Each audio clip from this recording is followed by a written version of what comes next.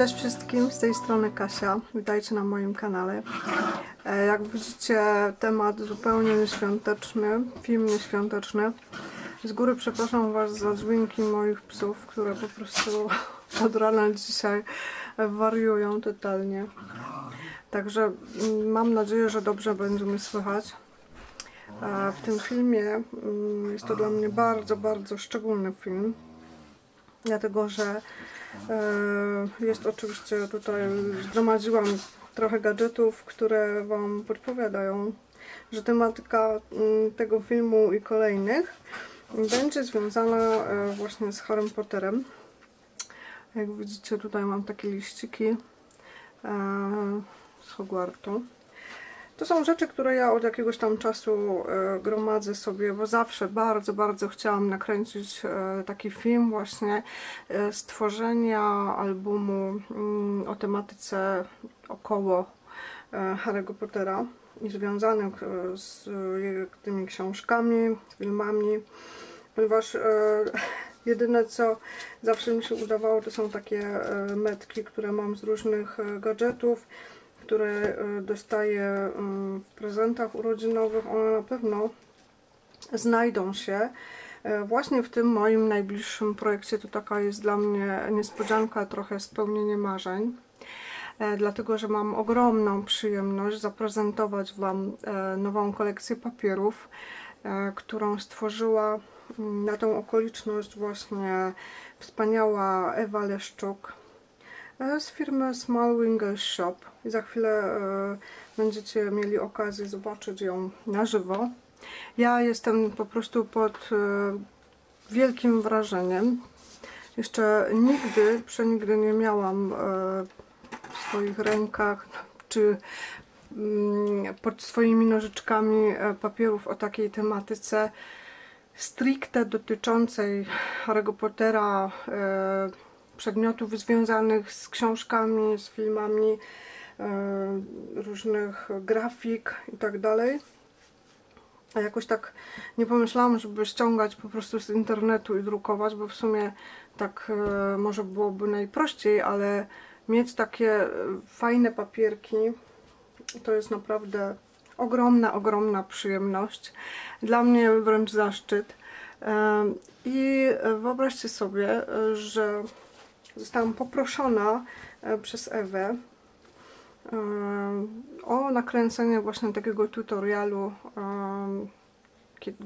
na którym będę tworzyła album e, związany właśnie z Harrym Potterem e, z wykorzystaniem tej właśnie konkretnej kolekcji. A to jest właśnie ta kolekcja, tada! Dla mnie po prostu przecudowna. Mm, Nazywa się The Boy Who Lived, czyli po prostu chłopak, który przeżył. Mamy tu oczywiście od razu na stronie tytułowej charakterystyczne okulary Harry'ego Pottera i błyskawice. Kolekcja jest, jak widzicie, ma takie wzorki, a tutaj są dodatkowo wszystkie kolory, które występują e, w tej kolekcji. Teraz będę mówiła na temat e, trzech części właściwie z jakiej składa się ta kolekcja, ale w tym momencie chciałam bardzo, bardzo jeszcze raz Ewie podziękować e, za, ten, za taką możliwość właśnie stworzenia z tych papierków tego albumu. Jest to dla mnie naprawdę ogromna radość. Naprawdę jestem bardzo, bardzo zaskoczona, że właśnie ja będę mogła e, z tych papierów stworzyć ten album. I super, że w ogóle Ewa wpadła na taki pomysł z myślą o wielu, wielu e, fanach Harry'ego Pottera. E, nie tylko ja przecież fascynuję się. Wiem, że wiele skraperek także bardzo lubi, bo w momencie, kiedy ta kolekcja została na Facebooku pokazana na zdjęciach e, na stronie właśnie e, Small English Shop, to odezwało się no po prostu ogromna liczba dziewczyn, które z chęcią pewno też e, pocięłyby te papierki i coś z nich stworzyły. Dlatego jest to dla mnie naprawdę bardzo duże wyróżnienie i bardzo, bardzo jeszcze raz dziękuję. E, przechodzimy więc do kolekcji. Oczywiście papiery mega super jakości. Dla mnie e, no, są grube, fajne, ja lubię takie. Nie lubię cienkich papierów, nie, może po prostu nie umiem z nich tworzyć, nie wiem, ale uważam, że te są świetne, świetne, naprawdę. No, ja biorę papier do ręki i wiem, że z tego ja coś zrobię, że jestem w stanie i że bardzo, bardzo mi się podobają. Oprócz tego muszę Wam powiedzieć, że super pachną i tu musicie mi uwierzyć na słowo. E, papiery oczywiście będą dostępne e, w sklepie już po nowym roku, także serdecznie Was zapraszam. Jeżeli spodoba Wam się mój tutorial e, i album, który z niego stworzę, jeżeli spodoba Wam się kolekcja, mam nadzieję, że tak, bo mi bardzo, to zapraszam Was właśnie po nowym roku do sklepu w celu zaopatrzenia się. I tak, stronę tytułową możemy sobie jak najbardziej wykorzystać. Mm, ponieważ tutaj jest już bardzo fajne tło mm, z takimi klatkami nosowy, z tiarą przydziału, ze złotym zniczem, okularkami, mamy tutaj też miotłę. Może niekoniecznie jest to Nimbus 2000, ale są to e, takie typowe grafiki kojarzące się po prostu od razu z Harry Potterem. E, jest też znak insygnii śmierci, różdżka, e, peron 9 3 czwarte, krawaciki, które nosili uczniowie. No po prostu super. Oczywiście stronka jest beżowa, bo w takich kolorach jest też kolekcja beżowo-czarna. Widzicie czarne graficzki. To jest pierwsza strona. Druga strona już rozpoczyna nam tutaj takie e, znaczy one nie są ponumerowane, ja sobie po prostu to tak przygotowałam. Rozpoczyna nam kolorystykę e, tą właściwą albumową. Mamy tutaj oczywiście poszczególne godła domów e, w Szkole Magii i Czarodziejstwa Hogwart, czyli mamy Gryffindor z lwem, mamy tutaj Hufflepuff z borsukiem, mamy Ravenclaw z krukiem e, i mamy Slytherin z wężem, mamy też złoty znicz, HP, insygnia śmierci, a to, kochani, nie jest dziurka od klucza, tylko po prostu y, zmieniać czasu od Hermiony. On się będzie też pojawiał jeszcze na kilku kartach. Tu mamy y, obręcze do gry w Quidditcha, mamy skrzyżowane różdżki, także y, tutaj jest y, Patronus. I znowu widzę tutaj jeszcze tiarę przydziału. I 9 i 3 czwarte peron, tak? Czyli wszystko już wymieniłam. E, ta kolorystyka nie jest przypadkowa oczywiście. Kto czytał, widział, ten wie, że każdy dom ma swoje barwy.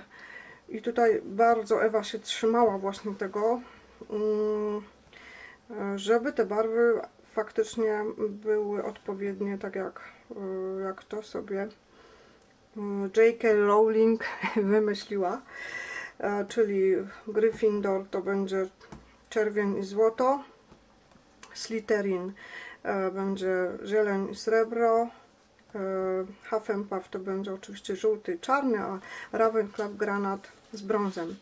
Także wszystko się jak najbardziej zgadza. Fajnie jest też to, super i bardzo, bardzo dziękuję. Myślę, że nie jedna z nas byłaby za to wdzięczna, że te papierki są jednostronne. E, nie będę musiała po prostu płakać nad tym, którą, którą ze stron e, pociąć i wykorzystać. Będę mogła wykorzystać absolutnie wszystko.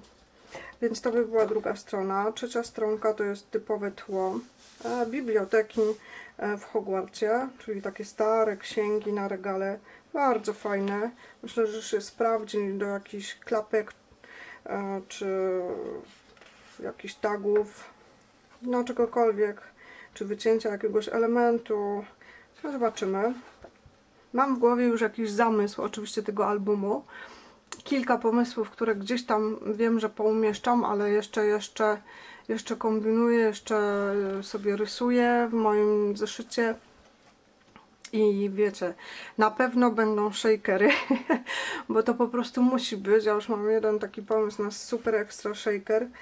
Mam nadzieję, że uda się e, go właśnie wykorzystać. Kolejna strona jest w takich, e, taka gazeta, gazeta, mm, takie grochy, oczywiście jest symbol insygnii śmierci, tutaj takie zębatki, no taki vintage bym powiedziała trochę, no ale tak to jest e, e, w Harry Potterze właśnie. To wszystko jest takie dość starodawne, stare księgi, e, eliksiry i tak dalej, także mm, jak najbardziej fajne, fajne. Są nawet jakieś takie błyszczące gwiazdki jeszcze do tego. Kolejna strona to jest oczywiście ściana ceglasta, jak najbardziej. E, można skojarzyć ze ścianą, przez którą musiał przejść Harry Potter na peron 9 i 3 czwarte. Także taką e, kartę też przewiduję właśnie z tym pociągiem i z takim oznaczeniem.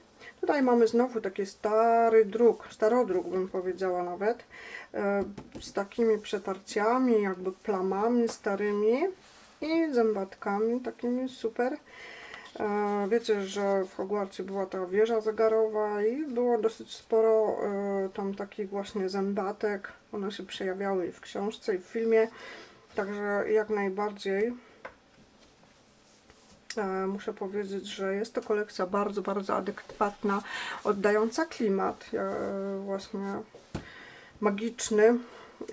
Tutaj oczywiście bardzo e, słynne, powiedziałabym, o może tak, słynne e, świeczki, które wisiały e, w wielkiej sali, tam gdzie zasiadali wszyscy uczniowie na początku roku szkolnego z nauczycielami na czele i tam właśnie nie było jakby sklepienia, tylko było niebo i z tego nieba zwisały takie właśnie płonące świece. Super to w ogóle wygląda. E, mam też pomysł na tą stronkę. Także no świetna kolekcja, naprawdę. I jak zwykle jednostronna. Tutaj przechodzimy już do takich e, bardziej kolorowych stron. Mamy tutaj e, takie tło złożone właśnie z herbów i tych kolor, charakterystycznych kolorów dla danego domu. Tak, czyli Gryffindor, Ravenclaw, Slytherin, Hufflepuff. To wszystko tutaj jest takie specyficzne tarcze. Tutaj mamy mm, taką dosyć e, fajną, gładką stronę, już tak niemocno wzoszystą, złożoną tylko z samych tych symboli insygnii śmierci na czarnym tle. Jest to takie gdzieś lekko tam przetarte. Mam nadzieję, że światło, które ja mam, to w ogóle odzwierciedla i pokazuje to, co ja tutaj tak myślę. Dobra, to jest podobna stronka, tylko w innej kolorystyce, widzicie? E, bardziej jasnej takiej powiedziałabym brązowo-pomarańczowej. Tutaj mamy takie e, przejawiające się oczywiście kolory tych domów w bardziej geometrycznej wersji. E, przepiękne tagi, które można sobie powycinać e, gdzieś tam włożyć. Zobaczcie, tutaj jest bardzo fajna kompozycja. Mam nadzieję, że jak przybliżę to będzie widać. O, widzicie? Złożona z książek. Um, tutaj mamy insygnia śmierci, tutaj jest złoty znicz z obręczami do Quidditcha. Tutaj jest przepiękna sówka i znowu karta z, z, ze zmieniaczem czasu. Także tak się prezentują super tagi, a tu na końcu mam stronki, które odpowiadają kolorystyce domów całkowicie. Widzicie? Cztery arkusze które można po prostu wykorzystać jako strony charakteryzujące dany dom. Czyli tu będzie Slytherin, Gryffindor, e, Hufflepuff i Ravenclaw. Jak najbardziej. Także super to jest. To była jakby pierwsza część tej kolekcji. Druga część, nie wiem gdzie to odłożyć, może to. Druga część to są fenomenalny pomysł, jak dla mnie. To są dodatkowe e, arkusze, które mają bodajże, hmm, znaczy długość jest na pewno 30, a tutaj mam 12 w kolorystyce odpowiadającej oczywiście hmm, tej kolekcji, czyli zobaczcie, poprzez takie beże przechodzimy przez takie ciepłe pomarańcze, brązy w różnym odcieniu i bordo, tak żeby pasowało do Gryffindoru. E, a skończywszy na takiej zimnej szarości z zielenią. Także super, naprawdę. To myślę, że absolutnie nie zabraknie e, niczego w tej kolekcji, bo to możemy sobie wykorzystać też na klapki albo wycięcie jakichś dodatkowych elementów. które tam chcemy sobie stworzyć w tym albumie, czy zamykanie, czy jakieś kieszenie, no cokolwiek. To jest druga sprawa, druga część jakby. Natomiast trzecia część to są fantastyczne grafiki, które dodatkowo jeszcze dostałam od Ewy. I one jakby będą no, główną ozdobą tego albumu. Oczywiście ja jeszcze powymyślam tam różne inne rzeczy. E, wykorzystam sobie to, co e, kiedyś dostałam od dziewczyn, e, a wiedziały, że będę kiedyś taki projekt robiła. Tak jak na przykład te elementy, które dostałam. Pani od, Koszulowa. W każdym razie mm, dziękuję w ogóle dziewczynom, które jeszcze zechciały mnie wesprzeć w tym projekcie, ale o tym będzie oczywiście w oddzielnym filmiku. Teraz e, kilka słów na temat wspaniałych grafik. I takie tarcze, które świetnie, świetnie można wykorzystać. E, super jest to, że w tych grafikach, nie wiem czy to będzie widać, staram się, żeby było, troszkę poczekamy, żeby się wyostrzył, e, jest takie delikatne mm, pociągnięcie, tak jakby ołówkiem, ale to nie jest oczywiście ołówek, żebym po prostu ułatwienie dla tych, którzy będą to wycinać, czyli ja, a niekoniecznie lubię to robić, ale świetnie, bo po prostu mam linię wycięcia zaznaczoną. To jest super, bo wszędzie zrobię odpowiedni margines, który no, spowoduje to, że będzie to ładnie wyglądało. Ale to jest dla mnie mega ułatwienie. E, kolejne tagusie, tym razem e, poziome. E, tam były pionowe, tutaj są poziomy, bardzo mi się podobają, takie właśnie, e, zobaczcie, od razu są linie, można sobie coś zanotować, super, super. A to mnie po prostu urzekło bardzo, bo ja już mam pomysł w ogóle na to, e, to są całkowite umundurowania uczniów z Hogwartu w poszczególnych domach. Czyli tu widzicie dokładnie tą kolorystykę, tak? Czyli Gryffindor, tu jest Hufflepuff, Slytherin, e, Ravenclaw. Także wszystko absolutnie się zgadza. Tutaj mają taką pelerynę, sweterki, kwadr krawaty. Mm, super, bardzo, bardzo fajne. Zobaczcie, kolejne grafiki, w których zgadza się całkowicie kolorystyka, czyli kolejne tarcze. Tu mieliśmy mm, Ravenclaw i Hufflepuff. Tutaj mamy Slytherin, Gryffindor. Mamy takie grafiki, e, które mm, przez, jakby imitują e, taśmy łosi. Super, albo takie bamerki wiszące mogą być świetnie. Biała sówka. Może być e, Hedwiga właśnie. I gwiazdy, które też są w kolorach danego domu.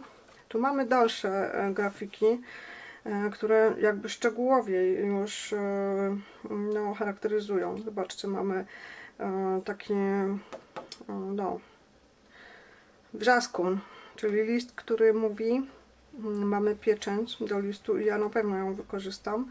Mamy, zobaczcie, jakie fajne badziki, które można, no też mam na nie pomysł, nie będę mówić co, bo wszystko oczywiście zdradzę i bez sensu będzie ten tutorial kręcić, ale po prostu świetne to jest. E, mamy świetny złoty, złote insygnia śmierci, tak się na to patrzy. Mm, tutaj mamy różdżki, prawda? Eleganckie, naprawdę. E, zmieniać czasu, odharmione, strzała, znaczy błyskawica, tiara przydziału, złoty znicz, okulary e, i Nimbus 2000. Tak właśnie wygląda Nimbus 2000, świetnie. Też mam na to e, pomysł. No po prostu, wiecie, jak dostałam tą kolekcję, to siedziałam dwie godziny, dotykałam te papiery, wąchałam nie mogłam się napatrzeć naprawdę, że coś takiego ktoś wymyślił, że nareszcie po prostu mam coś, czego będę mogła super fajnie, znaczy mam nadzieję, że będzie super fajny album. E, i tutaj mamy dalsze te grafiki, kociołek e, do eliksir, do ważenia eliksirów, mamy fajne książki takie stare, oznaczenie peronu 9 3 4 i znowu znaczek insygnii śmierci. I ostatnie graficzki, które bardzo mi się spodobały, zwłaszcza te świece też już e, mam na to fajny pomysł tutaj mamy takie jakby stare karty takie pogniecione, trochę widzicie i mam nadzieję też, e, że się no, ten pomysł, który ja chciałabym wykorzystać, to się też sprawdzi. I świeczki, e, mamy tutaj kolejne taśmy łoszy też w kolorach domów. i takie paseczki, które być może uda mi się też e, wykorzystać.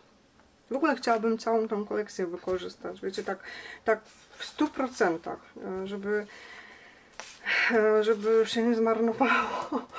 Po prostu mam, mam taką cichą nadzieję, bardzo taką na razie cichą, jeszcze w ogóle nie rozmawiałam na ten temat, ale że być może mm, Ewa zechciałaby jeszcze kiedyś dalsze jakby części zobrazować na takich e, grafikach, bo e, naprawdę warto, mm, znaczy warto, no ja, ja będę, ją przekonywała do tego, bo mam jeszcze kilka pomysłów na jakby dalsze grafiki, elementy, które obrazują kolejne części przygód Harry'ego Pottera. Te są jak najbardziej w 100% adekwatne, od razu kojarzą się są po prostu e, dla mnie niesamowite. Także e, zapraszam Was serdecznie e, do na mój tutorial, który będę co jakiś czas po prostu kręciła.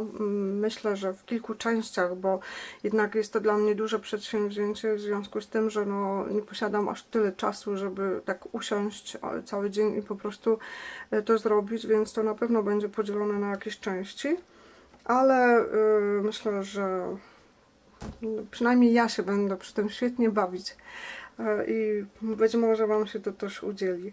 Także serdecznie Was zapraszam. Jeszcze raz bardzo dziękuję Ewie za to wyróżnienie, które mnie spotkało i mam nadzieję, że skusicie się po nowym roku, yy, odwiedzicie Small Wingers Shop i zaopatrzycie się w takie przecudowne papiery zaprojektowane przez Ewę Leszczuk.